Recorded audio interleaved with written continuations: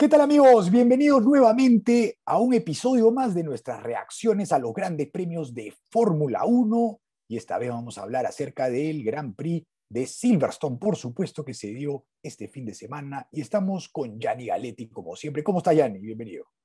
¿Qué tal, Kike? Bienvenidos a todos. Gran fin de semana de carreras, con muchas emociones, muchos cambios. Eh, un detalle interesante nomás para empezar, esta carrera estuvo por debajo del promedio de pasadas en lo que va la temporada y aún así hemos tenido la carrera más interesante del año hasta ahora, creo, ¿no? Bueno, eso nos dice que la estadística de cuántas pasadas hay en una carrera no te dice nada. Pueden haber 80 pasadas entre el último y el penúltimo y fue aburridísima la carrera también. Exactamente. Entonces, eh, como para ponernos a pensar un poco en el tema de si realmente lo que necesitamos es que los autos se pasen indiscriminadamente o si qué hacer con los, los futuros reglamentos, ya que siempre pedimos cambios y cosas más. Yo creo que está en, que, que, corran bien nada más y que, se la, ahora eh, las pasadas que he visto han sido espectaculares, hace tiempo que no había unas pasadas así, se han metido. Y bueno, hemos tenido suerte también, ¿no? Porque se han podido chocar en todas, ¿no? Y han corrido, lo han hecho muy bien, la de Leclerc contra Checo, y no sé cómo no partieron los autos ahí. Eh, Checo saliéndose por, la, por, por, fuera de la pista, metiéndose los tres juntos. Realmente increíble que no haya habido un accidente donde alguno de ellos se, hubiera, se hubiese quedado. Y eso también nos dice mucho de, la calidad de manejo de estos pilotos. Mm. Sí, sí, sí. Y, y, mm, solo para complementar lo que dices, eh, importante el fin de semana que, que, haya llovido, que la clasificación haya sido también así medio complicada. Eh, y también la libertad de los compuestos de llantas, eso también ha sido clave y no hay que dejarlo eh, eh, pasar así nomás, porque es parte del motivo por el cual hay la bandera roja al principio de la carrera y es parte también de que al final de la carrera se entrevere todo con ese último safety car y que hayan diferentes estrategias y diferentes eh, pilotos en condiciones de poder, no sé si llegar a la punta, pero pelear por el podio seguro. Entonces, a lo que voy es que es una buena decisión el hecho de poder abrir y que cada uno elija sus llantas de la forma en la que quiera. Estás hablando de los reglamentos. Sí, sí, por cuestión reglamentaria, claro. Ah, ok. Me dice lo de la clasificación antes que tenías que partir con la llanta que, clasificabas en la Q2, que ahora eso ya lo han eliminado y ahora tienen la libertad que quiera. Sí, también. Bueno, y también por lo de la lluvia tenían todos llantas más nuevas, ¿no? Tenía, no tenían, no habían usado muchas llantas en clasificación ni en práctica, porque hubo una práctica con lluvia también. Así es. Sí, eh, pero claro, más allá de eso, lo, lo, la la libertad de poder elegir el compuesto de llanta que quieras, eso es lo, importante, y que haya también esta diferencia entre una llanta y otra, y que haya llantas que tomen algunas más vueltas en levantar temperatura, y todas estas variables con las que tienen que jugar los pilotos hacen que la carrera sea absolutamente impredecible por momentos, y eso es lo que ha hecho, creo yo, esta carrera eh, lo interesante que fue. Bueno, sí, y, también tiene solo las tres prácticas, no solo tres horas para probar los tres compuestos.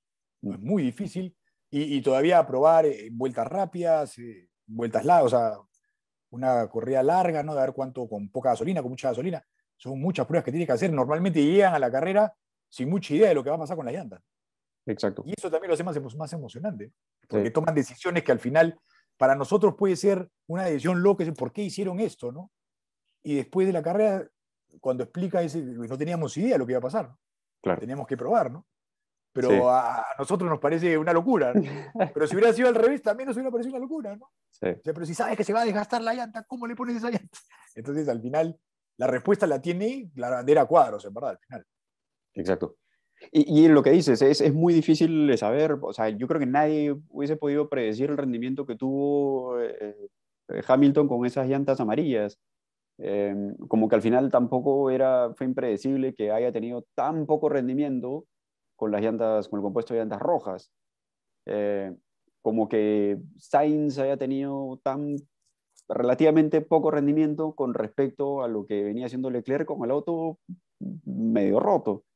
Eh, entonces, un montón de variables en, en, cómo funcionaron las, eh, las llantas y cómo funcionaron las estrategias que, queda para analizar y lo vamos a estar viendo ahora, de todas maneras. Así es, pero bueno, comenzando el fin de semana, la clasificación. Carlos Sainz logra su primera pole position Eh, bueno, tampoco de una forma espectacular, no fue una vuelta increíble, fue el que no cometió errores al final. Porque... Hizo lo que tenía que hacer. Exacto. Y, lo, sí, lo, lo que, lo dice al final, ¿no? Sí, lo que, no... hace muchísimos programas, ¿no? Que eh, hay que estar ahí. Y el que estuvo ahí fue. Estuvo ahí, estuvo ahí esperando que. Y bueno, tuvo suerte que los otros no le hicieron. Pero Verstappen venía hecho un demonio, ¿no? Yo cada vez que veía. O sea, sí iba secando la pista, iban haciendo más diferencia, pero el, cuando pasaba Leclerc, pasaba casi al mismo tiempo Verstappen con un segundo menos, ¿no? Sí. O metió un segundo, los va a matar a todos. Y venía matándolos en la última vuelta y, y al final comete errores, ¿no? Pero igual Leclerc. Leclerc creo que estaba como para, como para quitarle la pola al final, tenía los mejores eh, dos primeros parciales, pero claro, eh, Verstappen es el que, el que marca la valla, es, el que, es el piloto que, que es la referencia. En piso mojado sabes que a él es el, que hay que ganarle. Tiene, está dispuesto a arriesgar un poco más, tiene más confianza, eh, tiene todos esos ingredientes que, que, que hacen, la, que hacen la diferencia y que los hace desde la primera vuelta, a diferencia de los demás que, que van construyendo el boom a la primera. Siempre está al máximo, siempre está al máximo. Exacto. Sí, es verdad. Pero bueno, la pole de La, la pole de Sainz, eso, eh, hasta él mismo se sorprendió lo que decías, y, pero, pero es que hizo lo que tenía que hacer, que era meter una buena vuelta suficiente, y mientras que los otros fallaron. Entonces, no, no, tiene menos mérito porque los otros hayan fallado claramente, sino es un problema de que por qué se excedieron los otros si es que no tenían necesidad de hacerlo. Exactamente, eh, claro. Porque además los, trompos son en Stowe y por ahí, no en las últimas curvas, en las últimas zonas. Entonces... De eso se trata la carrera, ¿no? No se trata simplemente de que hace la vuelta más rápida, ¿no? Se trata de que está ahí siempre para hacer el mejor trabajo posible. Exacto, es como la discusión el fútbol, ¿no? ¿Quién es el, el mejor equipo? ¿El que gana o el que juega bonito? Exacto, claro. bueno, esa es la discusión que teníamos nosotros hace años, ¿no? El Perú jugó como siempre y perdió, perdió, perdió como siempre, jugó como nunca. la típica. exacto. Pero sí, pues es, son cosas que tienes que, que, estar ahí, ¿no? Tienes que estar ahí, Carlos Sainz estuvo ahí, y bueno, fin de semana redondo para Sainz porque se lleva también la victoria. Y bueno, en la carrera, comencemos con la carrera de una vez, una locura, ¿no? Una locura. lo que pasa en la primera recta antes de llegar a la primera curva. Un choque múltiple que lo tira de cabeza a Yowan Su. Y bueno, se va contra, contra. ¿Está bien dicho? Creo que me he equivocado. No, sí, está bien. Yowan Yu. Yowan Su, dije yo. No, pero en inglés lo he dicho. Bueno, sale disparado contra la barrera y bueno, el halo le salva la vida. Y en la Fórmula 2, en la carrera anterior, también el halo había salvado la vida de, un piloto de, de, Nisani, ¿no? De Fórmula 2, que le cae el carro encima, se va de frente en la chicana, le cae el carro encima y lo decapitaba de todas maneras sin ese, sin ese halo, ¿no? Y ahora en la carrera al piloto chino también se fue a 200 kilómetros por hora de cabeza, ¿no? Eso no hubiera aguantado jamás, un casco, ¿no? Lo, raro en el, sí, lo raro en el accidente de Zhou Wan es que el, el, el, roll hoop, el protector que tienen atrás de la cabeza en la parte alta, eh, se desprendió. No, no, yo pensé que había cedido con, con, con, el impacto, pero eh, ahora viendo un poco más, lo que aparentemente ha pasado es que se desprende. Y por eso es que termina apoyado solamente en el halo y, y, y bueno, va para allá. Eh, e, es muy raro que haya pasado eso. De hecho, en eh, e, esa zona del auto, la estructura es la que más eh, fuerza aguanta y la que más, la que más se prueba. de hecho, el, por acá tengo el dato, el, dentro de todas las partes de impacto que, que, se hacen o que pasan pruebas, esta es de lejos la que, la que más peso soporta y ah, por, lo, por el cálculo que es, aguanta más de de, 10 toneladas, 10.7 toneladas es lo que debe aguantar el, el, roll hoop. Entonces, eh, van a tener que ver qué cosa ha pasado. No es, eh, no, se dijo que podía ser una falla de diseño, pero es algo que viene usando Alfa Romeo o, o, Sauber en su momento, hace muchísimos años, se ha usado antes, entonces no debería ser por ahí el, tema, ¿no? Pero el, asunto es que se van a tener que, hacer una investigación importante sobre esto porque evidentemente no puede repetirse. Eh, y aparte, la locura de que el auto haya saltado y pasado por arriba de las llantas, golpeado el alambrado, en la posición en la que quedó, es que yo creo que tú te imaginas el accidente perfecto y no te sale este. No, es que, antes de chocar todavía la barrera de llantas, se levanta con el piso. Se levanta, choca la barrera y dale, que creo que fue mejor al final, ¿no? Porque no recibió el golpe de frente. Y no sé, porque termina dando contra el alambrado y está bien el alambrado y todo que esté bien construido, pero ¿qué te garantiza que va a aguantar? Y ahí está la gente, ahí. O sea, es una locura. Y él también quedó atrapado. En la, exacto, en la posición en la que queda el auto, que no se puede bajar. Ahí se eh, prende y... No hay nada que hacer. No hay nada que hacer. O sea, realmente, o sea, nos ponemos a pensar en la cantidad de medidas de seguridad que tienen los circuitos de, de ese nivel de Fórmula 1, en, en, qué sé yo, la cantidad de elementos de seguridad que, tienen los autos y los pilotos. Y es que es imposible imaginar que algo como esto pueda suceder. O sea, todo el tiempo tiene que ir evolucionando la, la seguridad y nunca, vas a, nunca terminas. O sea, pero el problema es que siempre tienes que esperar a que ocurra algo para poder tomar medidas, porque es que es impensable. ¿Y cómo ha salvado vidas el Lalo, no? Desde que... ¿Cuántos años tenemos de Lalo ya? ¿Tres, cuatro? Más o menos ha salvado, mira, lo que me acuerdo, George Russell, en ese choque medio loco que tuvo atrás, que le pasa el carro por encima. Grosjean, pero ahí nomás queda de todas maneras, traspasado el guardarriel Grosjean. Hay, hay una de Sainz en eh, Mugello, creo que fue, que se quedan todos parados y Sainz se lleva un auto. También, pero creo que ahí no fue tan evidente el golpe, ¿no? No me acuerdo si fue Sainz, pero bueno, hubo una de esas. Eh, sí, a mí lo que me eh, pregunta mucha gente es, mira, si el Lalo ha salvado 10 vidas en estos años, ¿qué hubiera pasado si no hubieran puesto el Lalo? ¿Hubieran muerto 10 pilotos en la Fórmula 1? Ah, no creo, porque al final no, o sea, es imposible, no podemos saberlo si es que el golpe realmente les hubiese, dado en la cabeza o les hubiese dado en, otra, otro, o en otra parte. Al final es una cuestión de centímetros o de milímetros, eh, pero más que probado que el, que el, elemento este funciona. Eh, es horrible y podemos quejarnos y... hay algunos que sí. A mí ya me ya lo veo hasta bonito, pero... pero hay, algunos accidentes de estos que, que, sí les han salvado la vida definitivamente. ¿no? La de Grosjean, definitivamente, esa cabeza no pasa por el guardarriel, es imposible. Y la de, la de Su también, ¿no? La de, ¿Cómo va a ser a 200 de cabeza sin el morrito acá? O sea, es imposible. y Nisani se le fue con todo, ¿no? Sí. Ya han habido el, hijo de, el hijo de John Surtis, cuando muere, es una llanta que le choca la cabeza y punto, ¿no? No hay ni siquiera es un accidente fuerte, ¿no? No. Ahí han debido poner el, el halo. Sí, bueno, en esa época no estaba ni en proyecto, ¿no? Pero bueno, eh, tuvo que morir Jules Bianchi también, ¿no? Sí, claro. Para que pase esto, ¿no? Sí, sí, sí. Eh, y, bueno, em, eh, en Indy también, ¿no? Ahí también se empezó harto el, el debate con, eh, no sé si fue Robert Wickens o, o, otro piloto que le cayó también algo en la cabeza y, y en fin. el, el, el, el, punto es que esto funciona, por más de que yo he sido uno de los que no, no es que estuve en desacuerdo, pero no me gustaba. Eh, creo que después de la experiencia de la introducción del Hans, yo, yo, era todavía un piloto muy joven en esa época, evidentemente reticente al cambio. Esto, eh, claro, ahora es inimaginable, ¿no?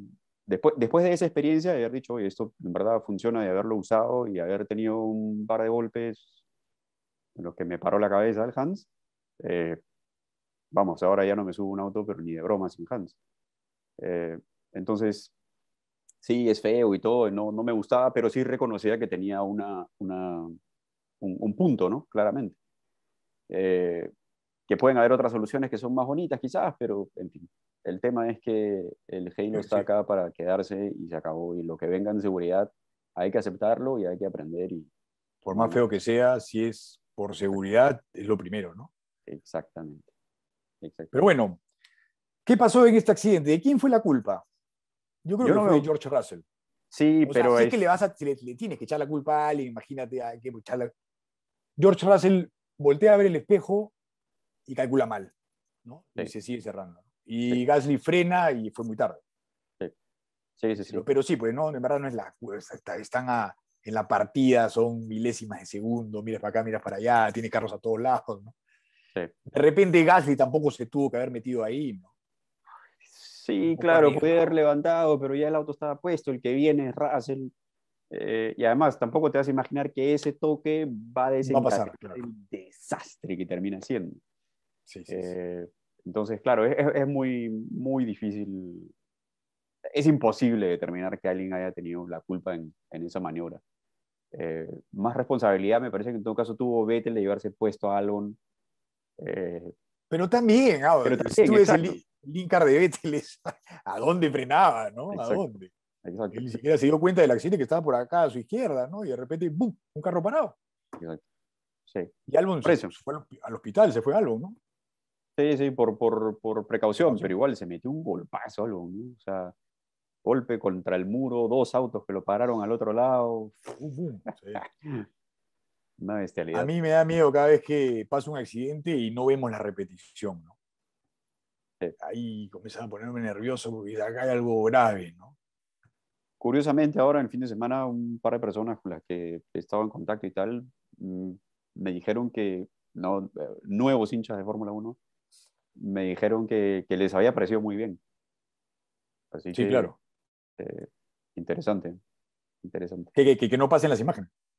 Yo hubiese preferido que las pasen para saber que está bien, que están trabajando. Pero no sabían, pues, no sabían.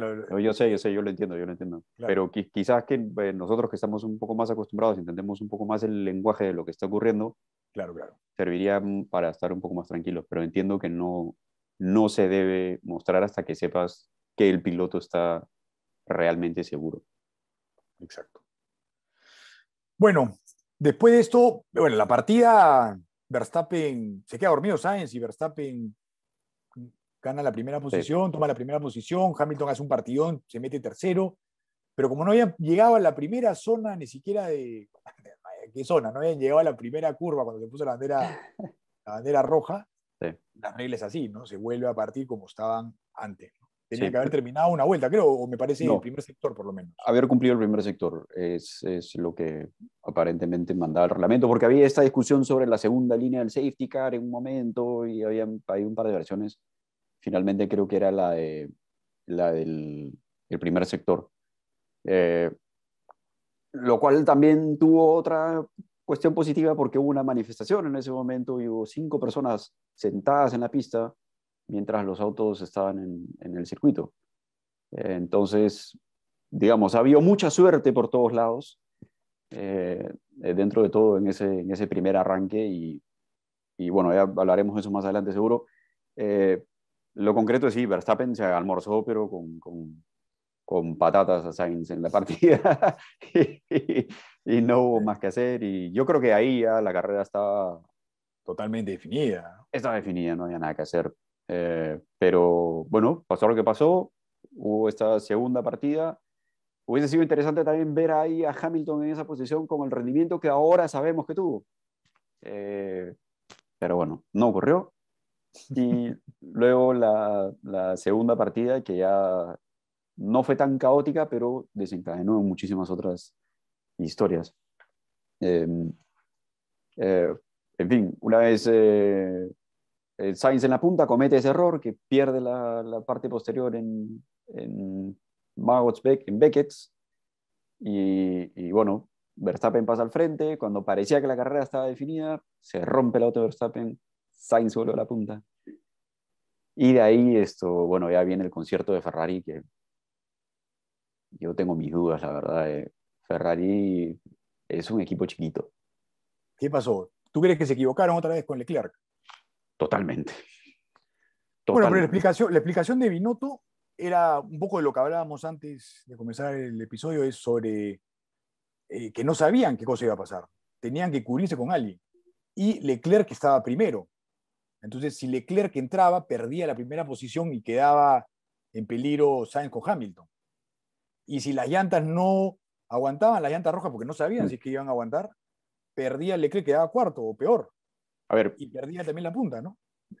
antes de eso, eh, a Leclerc lo debieron, lo debieron dejar pasar muchísimas vueltas antes. Debieron liberarlo de, de, de Sainz. Eh, y cuando lo pasó, hizo diferencia, se fue hacia adelante. Y además, estás teniendo más rendimiento con un piloto que con otro. Y además, ese piloto es quien está más cerca en el campeonato. Y encima, tiene el auto roto.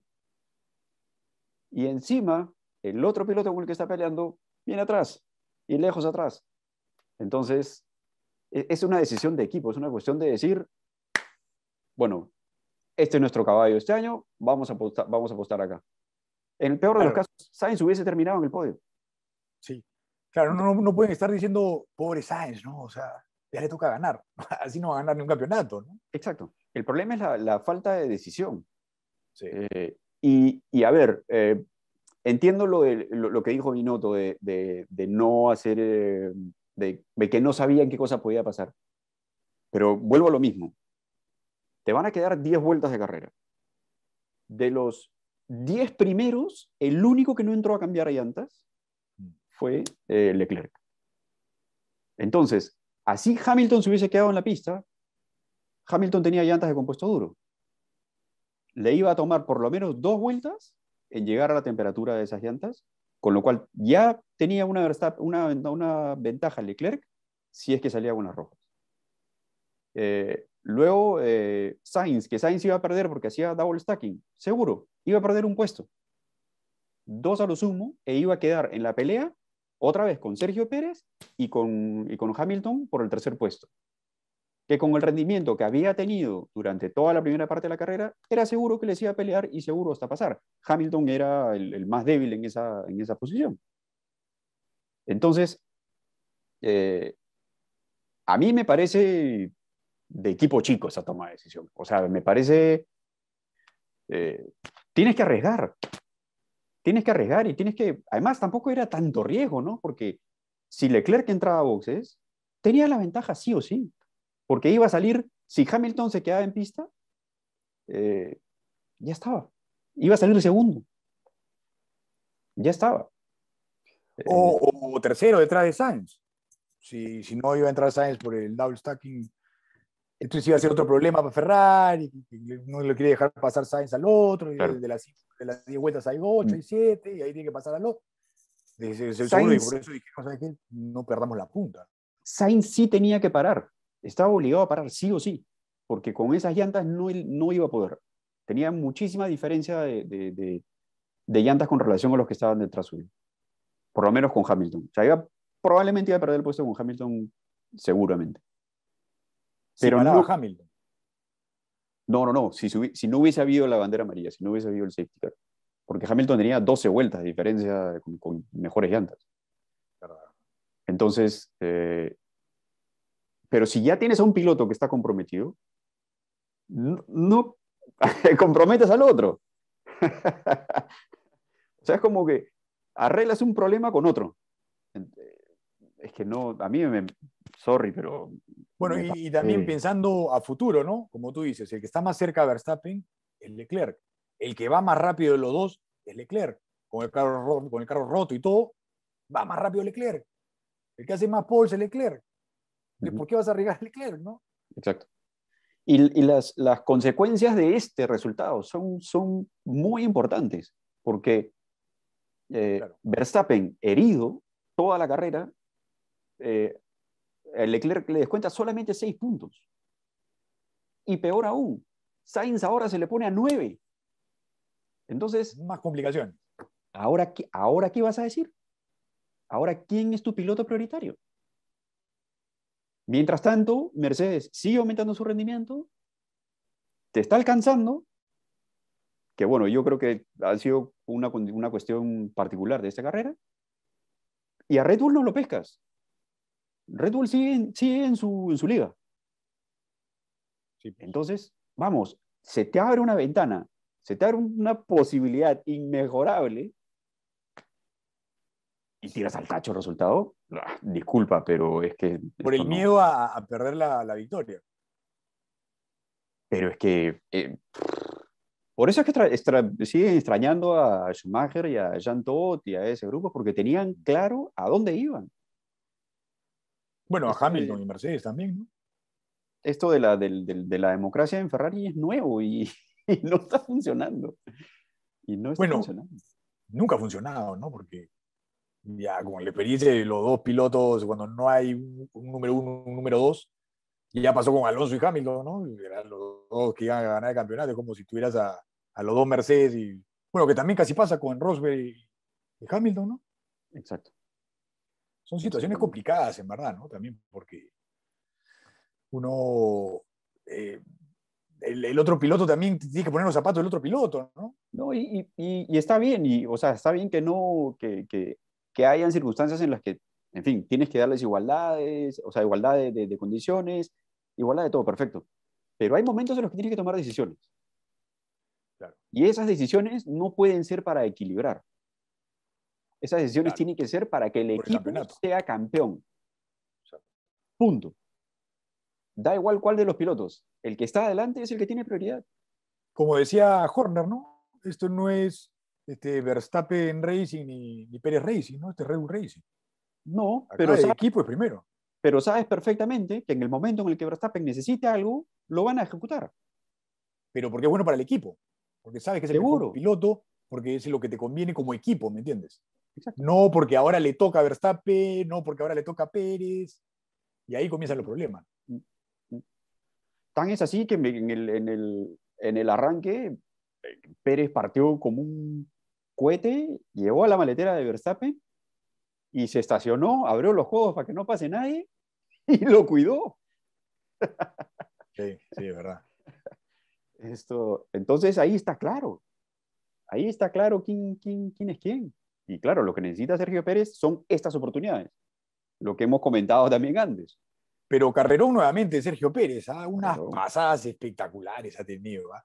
Primero la, la, la, que no se lleva Leclerc, que se le mete Leclerc no sé por dónde, se le mete Leclerc, ah, cerró los ojos nomás y tiró el carro como sea. Pasó y en verdad un piloto sin mucha experiencia se lo lleva puesto, ¿no? Sí. Le dio el espalda, o sea, con toque y todo, pero salió adelante. Y las pasadas con Hamilton, espectaculares, ¿no? La única maniobra de Sergio Pérez que, que fue con Leclerc fue esa, la de la primera vuelta donde se tocan, que me deja un poco de dudas, depende de dónde la veas porque si la ves de afuera, pasa, pasa piola, es como que, como que Leclerc fuerza la maniobra, pero si la ves de adentro del auto, eh, em, Pérez está comprometido con una trayectoria que cuando ve que el otro se le viene encima, ah, sí. Racatán gira para la izquierda. Pero no se lo lleva, no o sea, no, no, lo lleva a votar. No, no, no, en, la primera, en la partida, empezando, que Leclerc se avienta por, saliendo de la derecha, se tira por, por, por dentro para la izquierda. Eh, ahí Sergio Pérez, cuando ya está comprometido a hacer el radio, gira para el otro lado.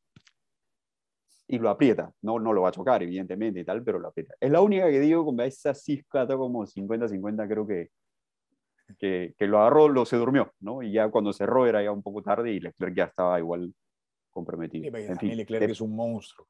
Depende cómo la mires, ¿no? Depende cómo la mires, por eso digo, de afuera no me queda tan clara. De adentro sí, pero a ver, no, no, puedo determinarlo a ciencia cierta qué fue lo que pasó. Eh, y después las otras, a codazo limpio. A codazo muy limpio. Muy bien, me gustó, me gustó la, la actitud ¿no? de Pérez, con todo nomás. La que, y que se tiene confianza, tiene el auto, el auto va rapidísimo, línea recta, tiene todo para hacerlo y, y estaba, estaba en, su, en su zona de confort y no tenía nada que perder.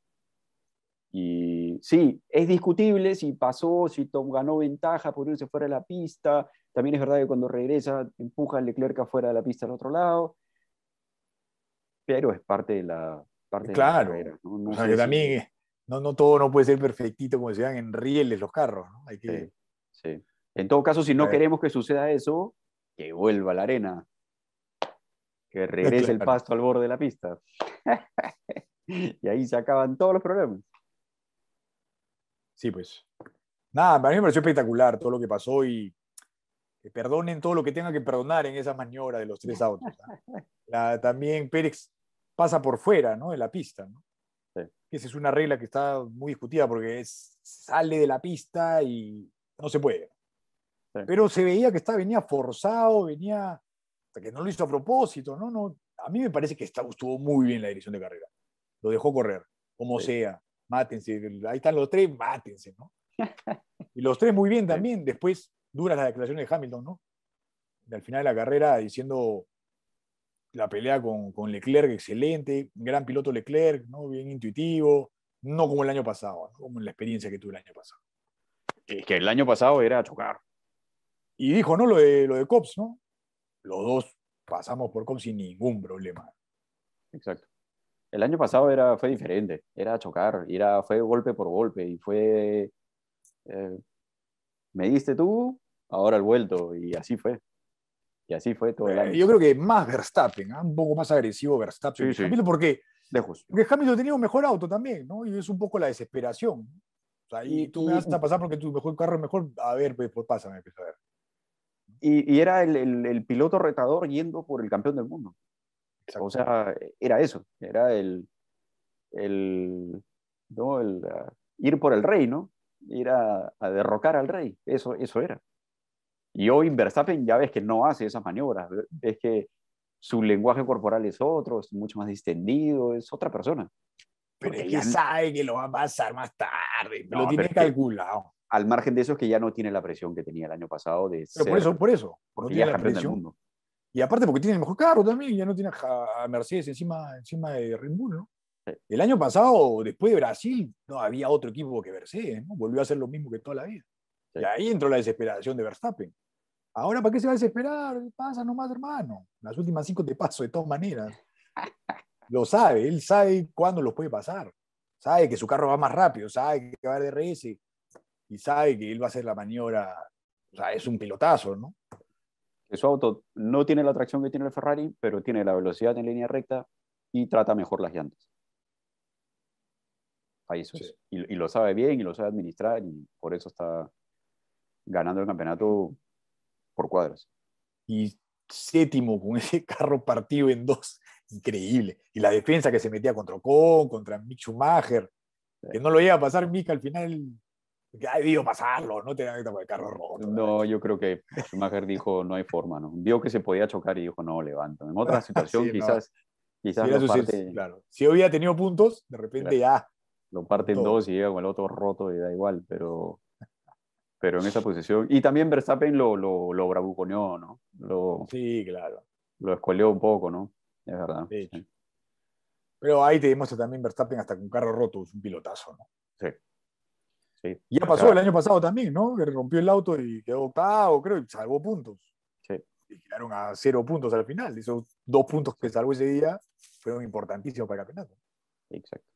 Sí, y, y rumbo además a una pista en la que yo creo que le puede convenir a, a- a Ferrari, que es la de Austria, que es la próxima, habría estado a 30 puntos de Verstappen, habría estado, habría descontado un montón de puntos, el campeonato se habría puesto, pero en fin, es lo que es. Vamos a ver, vamos a ver qué, qué- qué- qué pasa. Porque cualquier cosa puede pasar todavía. Sí, todavía. Después, otra polémica eh, fue la de Sunoda que se lleva a Gasly también. ¿no? Sí. Ah, ah, Polémica porque, porque hubo choque, porque Pero se molesta Sunoda, se molesta. se molesta en el momento, eh, dice un par de barbaridades, pero después... Estoy eh, bien, pero ¿qué pasó? Después en sus declaraciones metió retro, pero con todo, ¿no? Y Gasly estaba desencajado. Si podía, lo agarraba el cogote de todas maneras. Eh, pero, a ver, vamos, acabas de reventar el auto contra la pared de la salida de boxes y ahora te tumbas al compañero de equipo con los dos autos en los puntos. Mm. O sea, Sí. Que no se caiga onda porque yo creo que no sigue. Que no sigue.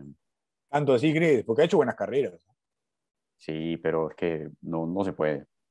No se puede, no se puede ser tan errático. O sea, a ese nivel, yo entiendo que en Fórmula 2, en Fórmula 3 puedas eh, cometer e- ese tipo de errores, pero ya cuando eres un piloto de Fórmula 1, ya no, no tienes segundas oportunidades, son muy pocas. los, mejor dicho, los que tienen segundas oportunidades son muy pocos pilotos. Y estas cosas de, de, su noda ya las arrastra, ya arrastraba algunas desde la temporada anterior y, y estos dos errores en estas dos carreras, vamos a ver cómo se recupera, ¿no? Todavía queda más de media temporada, pero van a ser difíciles de superar. Van a ser muy difíciles de superar. Y sobre todo que Red Bull tiene una buena cantera, ¿no? exacto. Aunque bueno, ya no está. Por sus declaraciones racistas, ¿no? En un juego virtual. Bueno, sí hay que tener cuidado con lo que se dice ahora, que todo sale grabado. Debatible también, pero vamos, la política de Red Bull parece que está clarísima. Sí. Bueno, también hay que hablar sobre lo de Nelson Piquet, ¿no? Que fue por lo que se sentaron en la pista estos, esta protesta, ¿no? la, la, protesta fue por, eh, eh, por el cambio climático. Ah, ok. Pensé que había sido por, por, Fue por cambio climático. De hecho, eh, Vettel y Hamilton avalaron la protesta. Con lo que no estuvieron de acuerdo fue con la parte de la forma, porque fueron cinco personas sentadas en una recta en la que los autos llegan a arriba de 300 kilómetros por hora. Fue un disparate hacer eso. además, entiendo que la organización también había conversado con ellos eh, eh, además, había un reporte de inteligencia, sabían que iba a pasar esto. Pero ya burlar la seguridad y meterse a la pista ya fue, creo que demasiado. Y, eh, es un riesgo innecesario para, para ellos, para los pilotos, para los oficiales de pista y posiblemente para el público también. Entonces, todo bien con el reclamo, está bien, todos tenemos derecho a reclamar y todo perfecto, pero, pero exponer a, a arriesgar la vida de otros, yo creo que ahí deberíamos empezar a tirar la, la línea. ¿no? De hecho, sí, pues no puedes arriesgar la vida de nadie por, por eh, una protesta. Vamos, uno de los talentos más eh, eh, em, potenciales que ha habido en la Fórmula 1, Tom Price, muere por eso, por una invasión de pista. y está, el video es espantoso, ¿no? Por todos lados. entonces, ah, o sea, aprendamos un poco, ¿no? Está bien, los motivos son diferentes, pero una persona cruzando la pista o en la mitad de la pista, que además con la partida como fue, con los autos súper enredados como venían en ese momento, ¿tú crees que alguien no se iba a abrir al lado izquierdo? Mm. Que ya que hay controles, que las cámaras, que la dirección de carrera los pudo anticipar, que pudo ver. ¿Y si no? ¿Y si se demoraba un segundo? O sea, un disparate. Sí. Bueno, felizmente no pasó a mayores esa protesta. Y bueno, lo de Nelson Piquet también, ¿no? Que también tiene un poco que ver con Red Bull porque es el suegro de Verstappen, ¿no? Y tuvo unas declaraciones que después salió a explicar, ¿no? Que le dijo, se refirió a Hamilton como negriño, como negrito, ¿no? Sí. Pero explicó después que en Brasil se usa negriño a la, como decir amigo, ¿no? Pata, causa, negriño. ¿no? Pero bueno, lo que dice también la gente es saber cuántas veces le ha hecho negriño a su pata Verstappen, ¿no? Que me saquen una entrevista que, que, hable sobre Verstappen como negriño o como cualquier otro que no sea Hamilton que le diga negriño. Sí, Yo sí entiendo lo que, a lo que se refiere, es como nosotros también hablamos así, ¿no? Cholito o negrito, normal, ¿no? Pero ya no, ya, ahora no se puede esa, perdón, ahora no se puede eso por, porque hay un, porque ya creo que con este mundo globalizado nos damos cuenta de que ofende a esa persona, ¿no? ofende a gente. Y yo creo que suficiente para que ofendas a un grupo de gente para que ya no sea gracioso ¿no? y no sea una forma de expresarse. Yo creo que tenemos que cambiar nosotros, los brasileros, y todo lo que antiguamente se referían a las personas sin ofenderlas con un sobrenombre racista, ¿no? Porque al final decirle negrito es un sobrenombre racista, ¿no? Por más cariñoso que sea. Sí, ah, a ver, e, entiendo efectivamente la, respuesta de Piquet, entiendo lo que se quiso referir, entiendo eh, eh, todo eso, pero creo que hay un punto que es más básico que llegar a una discusión eh, tan de fondo como una cuestión racial. En todo caso, creo que elevaría la gravedad del asunto. Pero el punto de partida creo que es lo que estamos dejando pasar un poco en alto, nos estamos perdiendo en otra discusión que es que es una falta absoluta de respeto. Por el simple hecho de que si tú eh, vas a, te refieres a un médico, le dices doctor, a una persona con un título mayor, puede ser, le dices ingeniero o tal o cual. Estás hablando de un siete veces campeón del mundo, de uno de los mejores pilotos probablemente de la historia, quizás tan bueno como él, como Piquet. Luis Hamilton. Ahora. Quizás hasta solamente agrava lo que estoy tratando de decir. El punto es que no puedes referir, no puedes ningunearlo. Y lo que hizo Piquet, o la intención, fue ningunearlo. Decirle, fulanito. No, no, sí, este fulanito. Entonces, yo creo que es una cuestión de respeto, que, debemos, que debería partir de ahí el tema. Y, eh, porque a Piquet le podemos decir unas cuantas cosas también. Y, y nadie lo trata eh, de esa manera o respectivamente. Entonces, eh, para mí es elemental eso, el punto de partida. Ya podemos debatir el tema del, del, tema racial y el tema, en fin, todas las connotaciones negativas que, que vienen después. Pero igual, igual yo creo que es importante eso, ¿ah? que hoy en día está en discusión muchas de las cosas que nosotros decimos y que nos parecen normal, cuando en realidad no lo son. Por supuesto. Eh, a lo que voy es que hay un punto creo que más, un punto anterior a eso, un punto más elemental, y a partir de ahí arranquemos la discusión y sancionemos todo lo demás. Pero la falta de respeto... Lo más grave, que fue la intención. Exacto. O sea, ningún no está bien.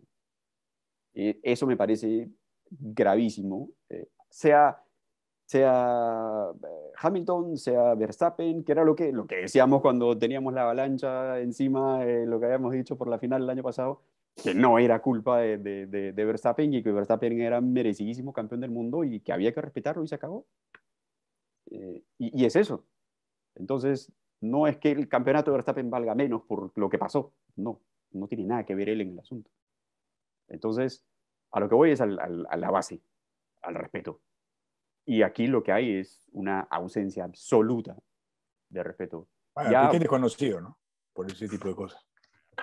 Por Dios. Cuando dijo esta famosa frase eh, que dijo sobre la esposa de Mansell, eh, que dijo... ¿Cómo puede ser piloto de Fórmula 1 esa con una tan fea? Exactamente.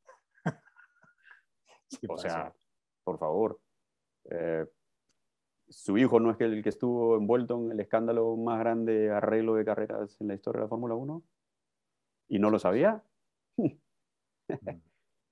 Suerte. Eh, bueno, ya. Y, así podemos seguir. No vamos a tener más de Piqué porque le han prohibido la entrada al paddock. Y, es que tiene que tener sanción, ¿no? Tiene que tener sanción. O sea, ya es demasiado. Ya estuvo bueno. Bueno. Es eso. Ya dejando aparte la mala noticia de, la Fórmula 1. Volvamos a la carrera. Un carrerón al final.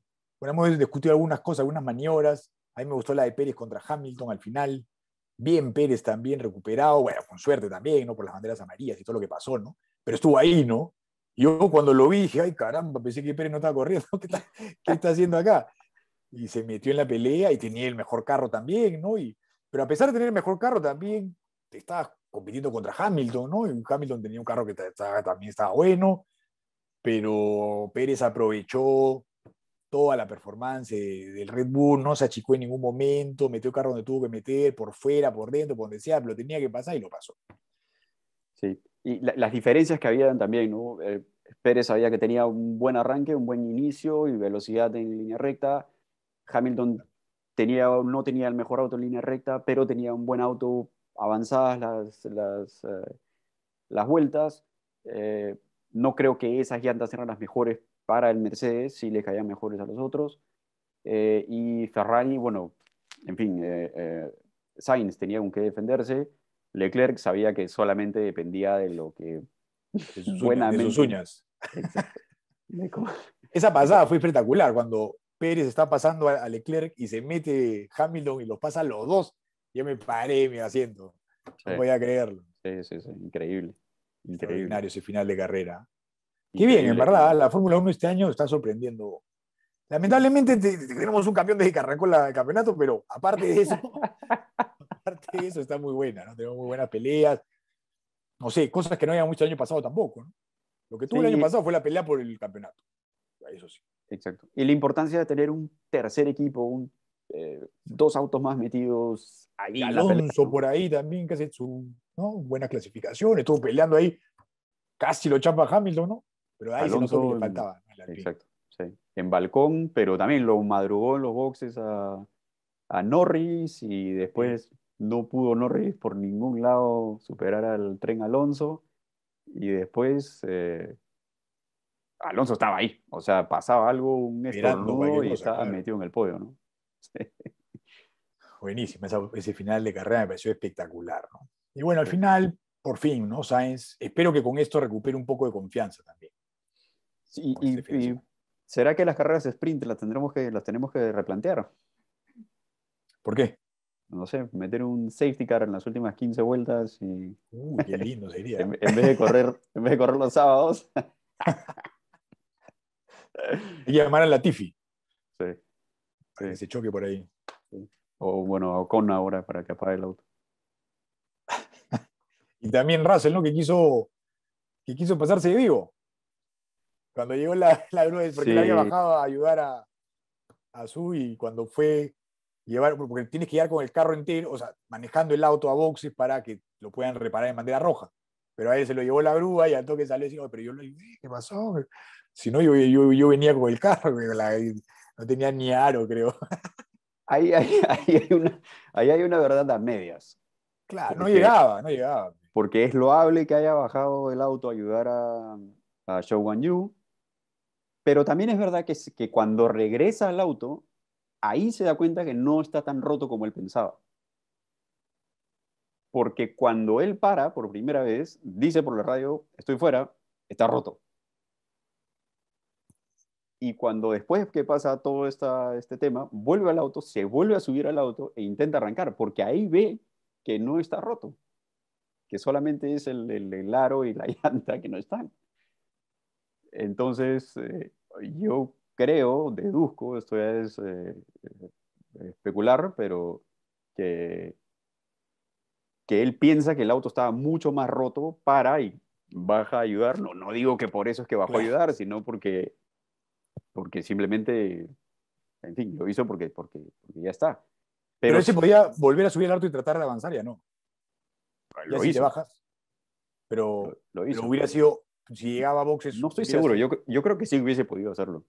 Sí. Eh, sí. Lo que no podía era lo que hizo, ¿no? De, de pretender La bajar grúa. el auto del- de la grúa. Aunque es verdad que si repasamos a la Fórmula 1 de Masi, han habido casos en los que han bajado autos de las grúas. Eh, Ah. No tengo el dato aquí exacto, pero me acabo de acordar de ese, de ese detalle. Así que Bueno, para el, la- para el próximo semana, episodio, de tarea. Sí, la próxima semana, porque tenemos carrera esta semana también. sí, exacto. Eh, pero bueno, volviendo al, al- al tema, sí, una pena que, que, que Russell no haya estado porque hubiese sido muy interesante verlo. Claro. Porque al final, es, con esa bandera amarilla hubiese estado también ahí metido en la pelea. De De todas todas maneras. Claro. Bueno. Bueno, vamos llegando al final del programa. Me gustaría seguir hablando de esta carrera, en verdad, porque fue espectacular. Fue buenísima, ¿no? Y, y la gente se emocionó, ¿no? Y recibí- recibía mensajes, todo el mundo decía, ¡qué carrera! La gente se ha emocionado con esta carrera. Yo, esperemos que, que hayan más como esta. Que Sí. estén ahí todos metidos. Sí, ne- necesitamos Bueno. un, tercer, un tercer equipo ahí, ¿no? Sí, sí. Mira, acá esta carrera ha demostrado que con tres equipos va a ser espectacular esto. Vamos a ver qué pasa, porque ahí va, ahí va Mercedes, ¿no? Está mejorando. Exacto. Pero, Vamos ojo, con cuidado, ¿ah? esta no, no me la Sí, tomo todavía falta. eh, porque han, habido, han ocurrido muchas cosas eh, No, extrañas. no, pero no hablo solo de, de esta carrera, de la anterior también, que Hamilton llega al podio, ha mejorado, por lo menos eh, el performance de carrera, ¿no? Tiene buen ritmo de carrera, siempre ha tenido buen ritmo de carrera, y ahora está mejorando en velocidad, deja de rebotar y se mete a la pelea. Sí, ha- sí. hay, hay evidentemente un salto al frente, pero no, no creo que No tan nivel. grande como lo que aparenta, ¿no? Haber sido al menos Imposible, pelearle a Verstappen con ese carro, por ahora. por ahora no. Bueno, la próxima semana, este fin de semana que viene, ya tenemos la carrera de Austria, como contabas, con la carrera sprint del sábado del 8 al 10 de julio. Y bueno, vamos a hablar también, por supuesto, de los comentarios que nos dejan nuestros seguidores aquí en eh, los videos. Namaste Giro, como siempre, nos escribe, hola Auto, qué carrera, con un inicio dramático, con un cierre para recordar. Ha sido, creo, la mejor carrera de lo que va de la temporada. Y qué suerte que estemos en tiempos donde el auto verdaderamente protege al piloto. ¿Qué opinan del manejo de Ferrari con sus pilotos? Bueno, ya discutimos todo eso. Igualmente merecía primera victoria de Sainz. Creo que, creo que esta es la carrera donde más fino he visto a Hamilton. Es lo más cerca de su estado de forma del año pasado. Un ritmo impresionante para, aún con mejoras del... Pero, perdón, un ritmo impresionante para aún con mejoras el Mercedes no llega a ser un equipo que esté capaz de pelear la victoria. ¿Cómo ven la relación Leclerc-Ferrari? Por lo que demuestra Leclerc parece molestarle cada vez más estas victorias perdidas. De esas, él solo fue responsable de una, la de Imola. Luego todo ha sido responsabilidad del equipo. ¿Cuáles son sus expectativas con esta segunda fecha de sprint? ¿Quién será el que domine en la casa de Red Bull? Bueno, muchas. Un par de apuntes nomás. puntos ahí. Sí, gran resumen. Eh, un par de apuntes nomás. Merecidísima victoria de Sainz, eso que no quepa ninguna duda. Eh, se la viene trabajando hace muchísimo tiempo y lo que insistimos acá en este muy pequeño espacio hay que estar para ganar. Eh, y eso es lo que hizo. Y en el momento en el que pudo, definió la carrera. Y a ver, además, ojo, algo que eh, me quedo con, no, no es mía esta frase de, Pablo Elizalde, de un periodista de, Autosport, eh, que tuiteó, Sainz ganó a pesar de los esfuerzos de Ferrari por perder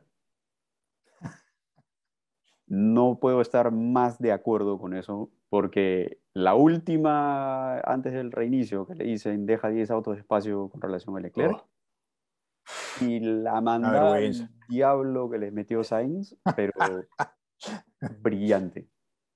Sacarse el sombrero, aplaudir y felicitaciones por el triunfo, que te lo has trabajado y te lo has ganado merecidísimamente. Eh, Ferrari, equipo chiquito Equipo chiquito. Sigue, sigue fallando, sigue fallando. De, no levanta cabeza. ¿Cómo le vas a decir a un piloto que tiene ventaja de llantas a 10 vueltas, deja 10 autos, con el otro que está herido, que no olvides. ¿Por qué no pensaste antes? O sea, ¿por qué lo, lo, ayudas al que no te conviene ayudar y cuando ya lo ayudaste le dice, este, no lo pases pues al otro. No, pierdan los dos, pierdan los dos. Exacto. Stop, stop inventing. Eso creo que va, a ser, vamos a tener que mandar a hacer stickers, ¿no? Para, con esa frase de Sainz. Brillante, ¿verdad? Mis respetos. Eh, y después, bueno, lo de sobre las expectativas. La, relación eh, de Ferrari y Leclerc ah, también. Y vamos a ver cómo se, se, resuelve esto, ¿no? Van a haber varias conversaciones seguramente esta, en esta semana y vamos a ver qué, qué sale de aquí, pero difícil saberlo porque igual Leclerc, que es el piloto es el piloto de, los ojos de Ferrari, ¿no? O sea, no se va a mover ahí, no le conviene tampoco a Leclerc. Es la joya del equipo al final, pero sí necesitan enfocarse un poco más en él, eso sí está claro, mucha democracia ya creo. Y em, las expectativas. Las expectativas. Eh, yo creo que va a ser un circuito en el que Ferrari puede hacerlo mejor porque no hay tanta opción de velocidad punta y va mejor, tracciona mejor el Ferrari que el, que el Red Bull, va mejor en, en, el tipo de pista que es eh, Austria, eh, pero es la cancha de Red Bull. Así que veremos cómo sale, sale el equipo austriaco en su casa, en su pista, en su todo. Además, con la hinchada, la marea naranja también seguramente cerca. Entonces, eso va a estar, va a estar interesante.